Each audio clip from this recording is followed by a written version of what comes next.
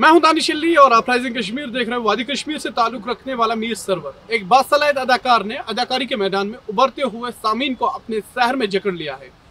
और अपनी शानदार अदाकारी और तहरीरी सलाहियतों की वजह से वसी पैमाने पर पहचान हासिल की है। 2015 में बजरंगी भाईजान नामी एक फ़िल्म में पाकिस्तानी बच्ची मुन्नी के वालिद का किरदार निभाते हुए इस अदाकार ने पूरी दुनिया भर में अपना एक खास नाम हासिल किया है।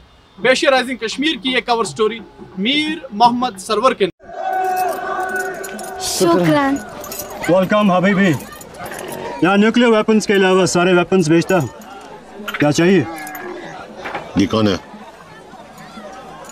ये अबुद्दीन है। यहाँ हमारे अलावा किसी को गूगल भी नहीं ढूंढ सकता।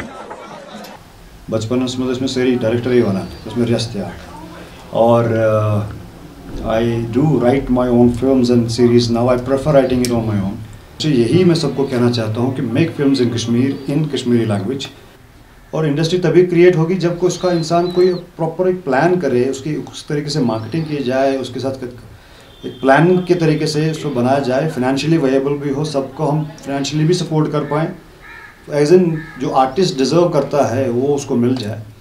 एक इंडस्ट्री बन जाए अपनी इट्स नॉट ए फ़िल्म खाली कि हमने फ़िल्में बनाई हैं, बस बड़ा शौक शौक नहीं है इट्स नॉट मोर शौक, ये हमारा प्रोफेशन है। We have left everything for the same और जब हम यहाँ पर अपनी इंडस्ट्री बनाने में कामयाब हो जाएँगे, तब जाके विल सी कि जो टैलेंटेड जो राइटर्स हैं they will get multiple projects ऐसा कोई, ऐसी कोई इंडस्ट्री नहीं है, ऐसा कोई महकमा नहीं है, ऐसी कोई फैमिली नहीं है, ऐसा कोई घर नहीं है, ऐसा कोई सर्कल नहीं है जो अपने लोगों को फ़ायदा नहीं देना चाहता। इट अप्लाइज एवरीवेयर अगर आप कॉरपोरेट फ़ील्ड में हैं तो वहाँ पर भी हम लॉबिज़म देखते हैं। हम अगर घरों में हैं तो हम वहाँ पर हम लॉबिज़म देखते हैं।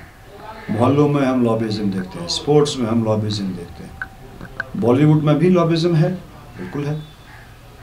जैसे कि हर फ़ील्ड में है और इसका फ़ायदा कुछ लोगों को होता है, बहुत लोगों को नुकसान होता है। We are not from any family family हम बाहर से आए हैं, बड़ी मेहनत से हम अपना नाम बना रहे हैं।